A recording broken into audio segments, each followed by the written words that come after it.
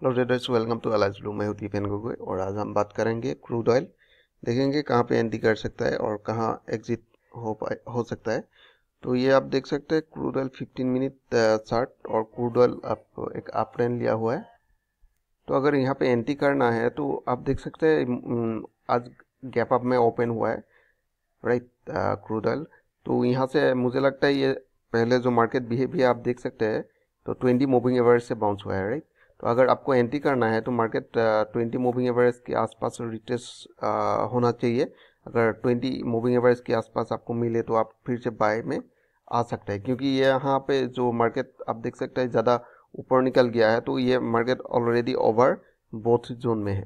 तो over both zone में जो रहता है तो मार्केट फिर से नीचे आ सकता है। ठीक है रिट्रेसमेंट के लिए। तो अगर आप टू एंटी मूविंग एवरेज के आसपास मिल सकता है तो यहाँ पे एंट्री करके और फ़र्स्ट टारगेट आप जो प्रीवियस हायर पॉइंट है, वहाँ पे आप मार्केट निकाल सकते हैं right so I hope you enjoy this video if you like this video please like and subscribe thanks for watching